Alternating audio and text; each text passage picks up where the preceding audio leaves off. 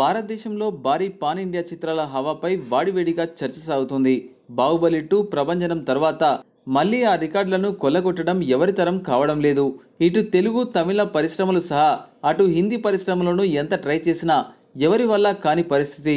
అయితే opener century కొడితే one down half century అయినా కొట్టినట్టు ఆ తర్వాత వచ్చిన చాలా భారీ చిత్రాలు ఆశించదగ్గ ఓపెనింగ్లే సాధించాయి.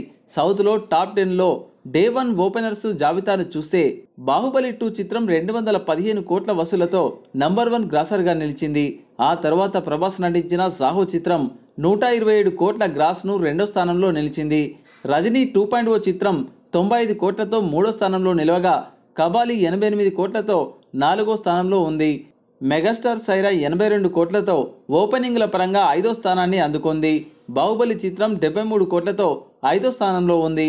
అది కాస్త సైరా ఓపెనింగ్ రికార్డు వల్ల ఒక స్థానం కిందికి దిగింది.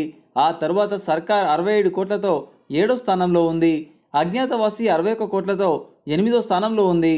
యాభై ఎనిమిది కోట్లతో అరవింద సమేత తొమ్మిదవ స్థానంలో నిలవగా యాభై ఐదు కోట్లతో భరతని నేను పదో స్థానంలో నిలిచింది.